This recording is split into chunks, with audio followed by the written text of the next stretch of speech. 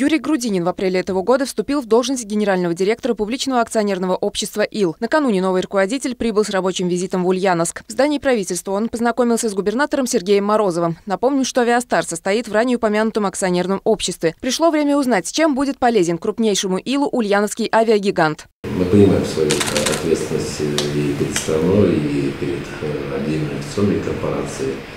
И хочу вас еще раз заверить о том, что, как и раньше, мы готовы верой и правдой служить э, нашей российской авиации. Поэтому мы находимся в вашем подчинении, командуйте, э, ставьте перед нами задачи, мы готовы.